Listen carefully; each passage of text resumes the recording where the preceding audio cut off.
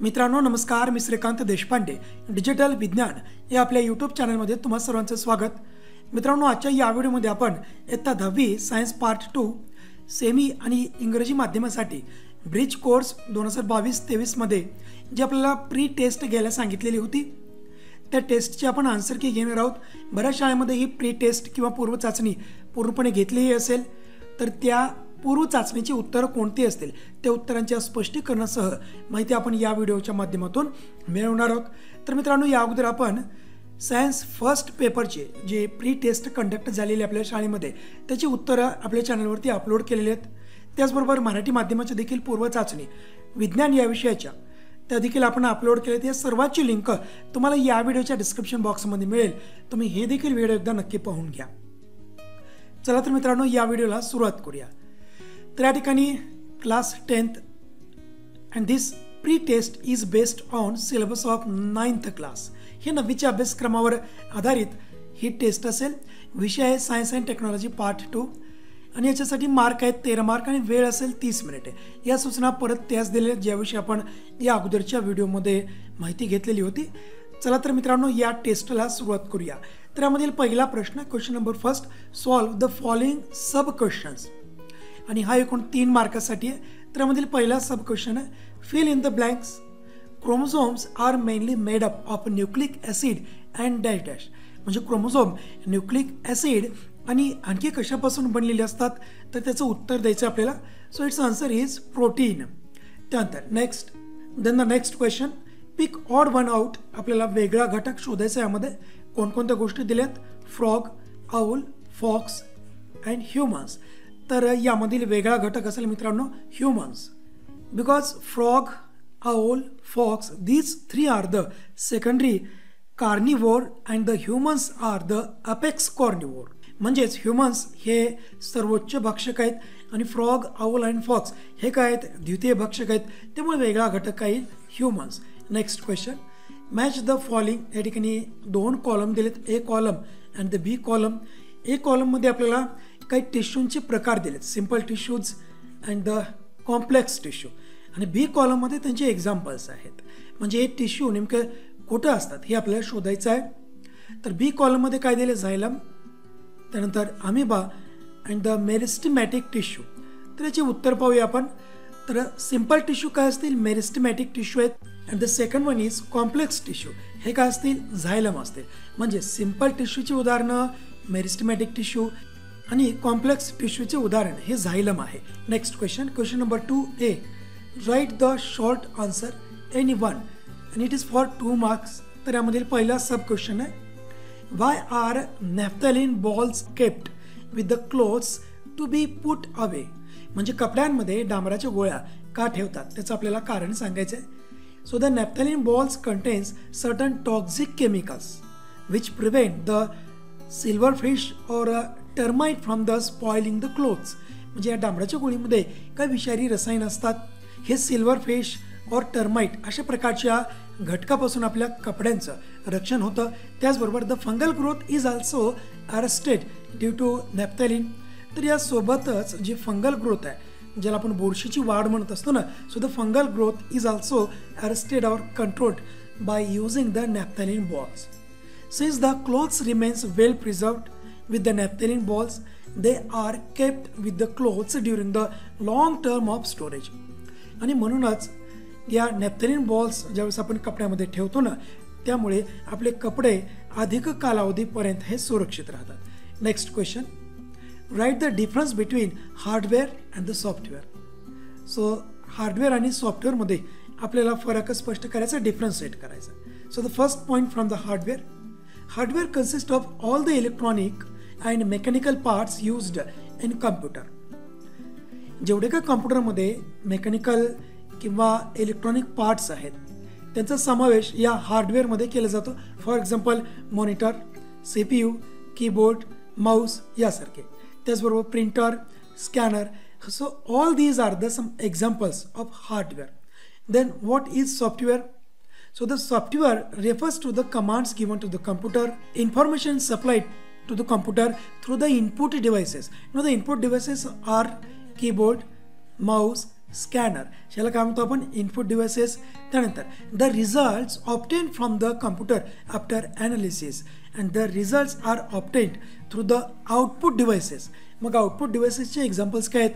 Monitor printer परत आपल्याला यांचे काही एक्झाम्पल्स घ्यायचे आहेत. तर हार्डवेअरमध्ये काय काय येतं? इनपुट डिव्हायसेस आणि आउटपुट डिव्हायसेस हे एक्झाम्पल्स असतील या. हार्डवेअरचे. त्यानंतर सॉफ्टवेअरचे examples system software and the application software for the computer the system software is its operating system that is Windows हे काय असेल? सिस्टम सॉफ्टवेअर असेल. आणि ॲप्लिकेशन सॉफ्टवेअर काय असेल? मायक मायक्रोसॉफ्ट ऑफिस मग त्यामध्ये आपण ऑफिस वापरत असाल किंवा एक्सेल वापरत असाल किंवा मग हे सर्व काय झाले? ॲप्लिकेशन सॉफ्टवेअरची उदाहरणं झाले. त्यानंतर next question study the figure and answer the following questions इथं फिगर दिले मित्रांनो या प्रकारची. तर यावर आधारित काय आपल्याला प्रश्न विचारलेत? आणि त्यावर आधारित आपल्याला या प्रश्नाची उत्तरं देणं आवश्यक आहे. So the first question is what is the most important source of energy in any ecosystem प्रत्येक इकोसिस्टममधील किंवा कोणत्या इकोसिस्टममधील महत्त्वाचा एनर्जी सोर्स काय आहे? तर याचं उत्तर काय असेल? खूप साधं सोपं उत्तर मित्रांनो.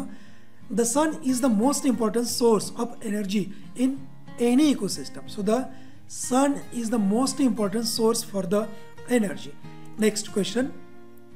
What is your opinion about the direction of energy flow in the pyramid of energy?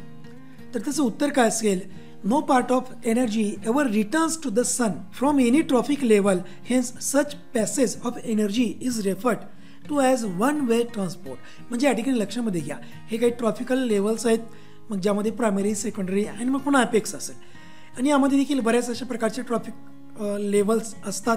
मग यामध्ये एनर्जी एका ट्रॉफिक लेवलकडून दुसरं ट्रॉफिक लेवलकडे जात असते. परंतु यामध्ये जो सर्वोच्च भक्षक आहे ज्याला आपण अपेक्स कॉर्निवर असं म्हणत असतो तर याकडून ही जी एनर्जी आहे ही सूर्याकडे जात नाही. जी प्रायमरी ट्रॉपिक लेवल आहे ही सूर्यापासून ऊर्जा घेते. आणि with the help of the sunlight they produce the chemical energy. Means only green plant have the capacity to convert the solar energy into chemical form by the process of photosynthesis आणि अशा प्रकारे ही जी energy आहे एका traffic लेवलकडून पुढच्या traffic लेवलकडे जात असते. म्हणजे ही energy आलेली आहे सनकडून आणि ही एनर्जी जाते कुठपर्यंत? अपेक्स कॉर्निवरपर्यंत किंवा शेवटच्या ट्रॉफिक लेवलपर्यंत त्यानंतर हे जे सर्वोच्च भक्षक आहेत अपेक्स कॉर्निवर हे नष्ट होतात.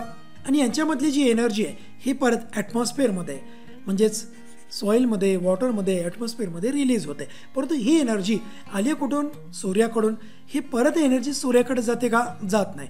त्यामुळं याला आपण काय म्हणत असतो? वन वे ट्रान्सपोर्ट केवळ सूर्याकडून या ठिकाणी एनर्जी येते इकोसिस्टममध्ये परंतु इकोसिस्टममधील एनर्जी परत सूर्याकडे वापस जात नाही. त्यामुळे याला वन वे ट्रान्सपोर्ट असं म्हटलं जातं. Next question number three explain the following questions in detail any one तीन मार्कासाठी असेल हां?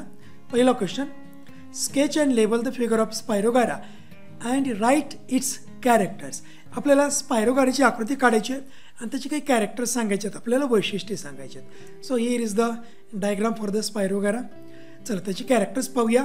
So the first character spirogyra is a green filamentous algae belonging to the division thallophyta thallophyta या डिव्हिजनमध्ये आढळणारी फिलामेंटस ग्रीन अल्गी म्हणजेच spirogyra आहे. It grows in fresh water तरी मराईन किंवा सी वॉटरमध्ये वाढत नाही केवळ फ्रेश वॉटरमध्येच यांची वाढ होत असते. पुढे due to the presence of chlorophyll it synthesis its food by process of photosynthesis synthesis obviously so the spirogyra it consist of chlorophyll spirogyra it has ability to create its own food material by the process of photosynthesis. त्यानंतर next character काय असेल it contains spirally arrange thread like chloroplast आत्ताच आपण चर्चा केली आहे and because of this chloroplast it synthesis its own food material by the process of photosynthesis. Next character in each chloroplast there are a number of rounded bodies surrounded by a starch. And these rounded bodies are called as pyrenoid. So you can see these rounded bodies which are present in this chlorophyll or chloroplast ribbon. त्यानंतर पुढील प्रश्न write the name and the function of growth hormones in plants तर झाडामध्ये जेवढे काही growth hormones आहेत ना त्यांची आपल्याला नावे सांगायची आहेत आणि त्यांची फंक्शन्स देखील सांगायचे आहेत so the first growth hormone is auxin so the a hormone called auxin produced in the apical part of shoot which helps in enlargement of cell. हे पा ऑक्झिन कुठं तयार होतं? अपाकल पार्ट ऑफ शूट म्हणजे जे झाड आहे ना झाडाच्या टोकांमध्ये अपाकल पार्टमध्ये हे ऑक्झिन तयार होतं. So the function of auxin is enlargement of cells सेल्सचा आकार वाढवणे हे त्याचं कार्य आहे. Next gibberellins hormone like gibberellins it helps in stem elongation झाडाचं जे खोड आहे ना त्या खोडाची लांबी वाढ वाढवण्यासाठी या जिबरलिन्सचा वापर केला जातो. त्यानंतर पुढे cytokinins cytokinin it help in cell division so the function of this cytokinins is to help in the cell division. So because of the presence of cytokinins, the cells present in the different parts of the plant they increase their rate of cell division म्हणजे या ठिकाणी sale डिव्हिजनची गती वाढवण्यासाठी या सायटोकायनिसचा वापर केला जातो. Next abscisic acid the hormone abscisic acid is effective in prevention and retardation of growth म्हणजे झाडाची वाढ थांबवण्यामध्ये. हे ॲप्सेसिक ॲसिड मदत करतं. त्याचबरोबर it is also useful for the leaf wilting जे झाडाचे पानं जी असतात अचानकपणे झाडाची पानं वाळतात. त्याला आपण लीफ वेल्टिंग असं म्हणत असतो. हे कशामुळे वाढतात? So because of the secretion of abscisic acid so these are the four plant hormones and also we have seen the functions of these plant hormones next question what is the chromosome और what is chromosome त्याची definition आपल्याला या ठिकाणी द्यायची आहे. The structure in the nucleus of a cell that carries the hereditary characteristics is called chromosomes तर न्यूक्लियसमध्ये एक स्पेसिफिक टाईप ऑफ स्ट्रक्चर असतं which carries the hereditary characters जे अनुवंशिक गुणधर्म पुढच्या पिढीमध्ये नेत असतं त्या स्ट्रक्चरला म्हणायचं आहे chromosomes next question write the names of various types of chromosomes तर क्रोमोझोमचे जे प्रकार आहेत ना त्यांची आपल्याला नावं द्यायची आहेत. सुरुवातीला आपण जाणून घेऊया on the which basis the, these chromosomes are divided into different parts or different types so there is a constructed region on each chromosome. प्रत्येक क्रोमोझोमवरती एक विशिष्ट प्रकारचं अशा प्रकारचं एक कन्स्ट्रक्शन असतं. एक प्रकारचं संकोच असतो. एक प्रकारचं त्या ठिकाणचा क्रोमोझोमचा भागमध्ये दबलेला असतो. So it is called as primary construction or centromere ह्याला काय म्हटलं जातं? सेंट्रोमियर ठीक आहे. Next the centromere has a specific position on each chromosome. So that depending upon the position of a centromere, the chromosomes are of different four types. कोणकोणते आहेत मग पहा मेटासेंट्रिक सबमेटासेंट्रिक ॲक्रोसेंट्रिक आणि टिलोसेंट्रिक तर या प्रकारे next question question number four answer the following question any one हा एकूण पाच गुणासाठी प्रश्न आहे मित्रांनो write any five principles of a solid waste management in detail so as we know there are seven different principles for solid waste management तर सातपैकी कोणती पाच प्रिन्सिपल्स आपल्याला लिहायचे आहेत? So first one is reuse after use materials should be reused for some other proper purposes म्हणजे एकदा का आपण एखादी गोष्ट वस्तू वापरली तर तिचा आपण इतर कामासाठी वापर करणं आवश्यक आहे. त्यानंतर पुढे refuse refusal to use articles made from non degradable articles like plastic and thermocol म्हणजेच काय? प्लास्टिक आणि थर्मोकोलपासून बनलेल्या जी वस्तू आहेत ना त्यांचा वापर आपण नाकारला पाहिजे. मग the third principle is recycle production of useful articles by recycling solid waste for example paper glass और different types of metal rubber and plastic ह्याचं आपण रिसायकल करू शकतो. जेणेकरून आपल्या पर्यावरणामध्ये एन्व्हायरमेंटमधील जे सॉलिड वेस्ट आहे ना त्याचं मॅनेजमेंट चांगल्या प्रकारे होईल. Then the fourth one is rethink rethinking our habits activities and they are consequences in connection with use of various articles of daily use म्हणजेच आपण दररोजच्या वापरामधील ज्या गोष्टी आपण वापरतो ना त्या वापरण्यासंबंधी त्याचबरोबर आपल्या सवयीसंबंधी आपण पुनर्विचार किंवा रिथिंक करणं आवश्यक आहे.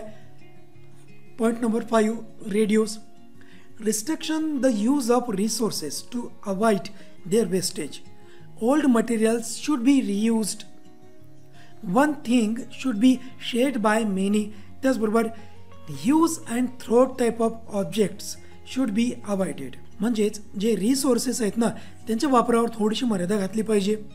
त्याचबरोबर ज्या जुन्या गोष्टी आहेत त्यांचा वापर आपण पुनर्वापर केला पाहिजे. So the old material should be reused त्याचा वापर आपण पुन्हा पुन्हा केला पाहिजे. त्याचबरोबर एखादी गोष्ट आपण शेअर केली पाहिजे. आणि सर्वात महत्त्वाचे म्हणजे use and throw type of objects should be avoided एकदा वापरा आणि ती वस्तू टाकून द्या. ह्या प्रकारच्या वस्तू आपण वापरणं थांबवलं पाहिजे. Next write the name of following tissues tissue lining inner surface of mouth तर आपल्या मुखामध्ये तोंडाच्या आतील अस्तरामध्ये ज्या टिश्यू आहेत त्यांचं नाव आपल्याला सांगायचं आहे तर त्याचं नाव आहे squamous epithelium next tissue joining muscle and bones muscles आणि बोन्सला जोडणारं टिश्यू त्याचं नाव tendons third one is tissue responsible for increasing height of plants. झाडाची उंची वाढण्यामागं कोणते टिश्यू कारणीभूत आहेत? त्यांचं नाव सांगायचं आहे so its answer is apical meristem next fourth one is tissue responsible for increasing girth of a plants. झाडाचा घेर किंवा खोडाचा घेर वाढण्यामध्ये कोणते टिश्यू कारणीभूत आहेत त्याचं नाव? So the lateral meristem is responsible for in increasing the girth of a plants last one is tissue conducting water and minerals. So its answer is xylem. So xylem is responsible for conduction of water and different types of minerals from roots to the different parts of aerial parts of plant body. So in this way, dear students, we have completed the pre-test for the 10th science 2.